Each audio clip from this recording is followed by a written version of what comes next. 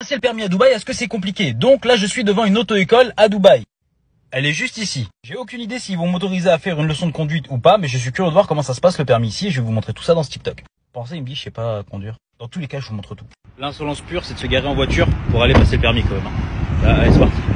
Bon, je viens de rentrer, j'ai demandé à la dame, elle m'a dit elle va aller euh, se renseigner, donc euh, je vous tiens au courant. Mais regardez déjà, ça ressemble à quoi?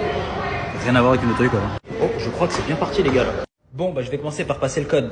Du coup, l'examen du code, ça se passe ici. En fait, c'est dans des petites cabines et vous avez la petite caméra qui va venir vous surveiller. Comme ça, au moins, vous pouvez pas tricher. Et il faut savoir qu'ici, c'est que du code en ligne. Ils s'entraînent que chez eux. Allez, c'est parti, je m'entraîne au code et après, je passe la conduite.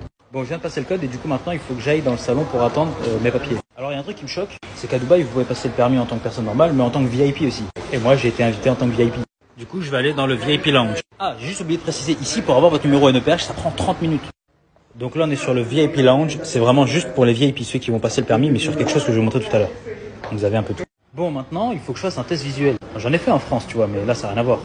Du coup, comme tu vas voir, c'est le high test. Et en fait, il faut que j'aille ici. Et il faut que j'utilise la machine. Bon, bah, j'ai été reçu au test des yeux. Maintenant, on va continuer. Bon, maintenant, il faut que je demande mon numéro de permis. Du coup, les machins, on dirait une préfecture. Mais ça, c'est une auto-école. Et bah là, je dois demander justement mon numéro de permis pour pouvoir passer. Bon, c'est bon, j'ai réussi à avoir mon numéro. J'ai donné les documents. Maintenant, on est parti pour conduire. Bon, là, on va aller chercher une voiture pour passer. Mais attendez, il y a des Range Rover, là, il y a des Mercedes, c'est quoi ce truc-là? Du coup, à Dubaï, il y a trois types de permis. T'as le permis pour les gens fauchés comme moi. Je conduis ça comme voiture. Donc bon, bah, c'est une voiture normale, quoi. hein. Après, t'as les gens qui ont un peu plus de thunes, tu vois. Ils peuvent passer en Merco, donc au calme, normal. Donc ça va, hein, c'est pas du mer- de la Merco euh, bas de gamme, quand même. hein. Les mecs, ils sont bien. Donc ça, c'est quand t'as un peu plus de thunes. Mais quand t'as vraiment beaucoup d'argent, tu passes sur le Range Rover, frérot. Tu te rends compte de l'insolence, tu passes ton permis en Range Rover. Du coup, t'es là, et tu passes dans un putain de Range Rover, frérot. Devinez, je vais prendre quelle voiture Donc je suis dans le Range Rover et je vais passer mon permis avec le Range Rover. On peut le voir, là, c'est avec ça que je vais conduire aujourd'hui. Et Aujourd'hui, c'est Abdelraouf qui va me faire passer mon permis et j'espère que je vais l'avoir. Ah oui, petite précision, là je suis dans le Range Rover. Du coup, dans le Range Rover, oui, comme en France, ils ont le double rétro, mais ils ont aussi les doubles pédales. Pourtant, c'est un Range Rover, et il faut savoir que dans la Mercedes aussi. En fait, c'est quasiment comme en France. hein. Ah, et ils sont obligés de faire 20 heures à Dubaï si vous avez jamais eu le permis, donc comme en France, 20 heures minimum.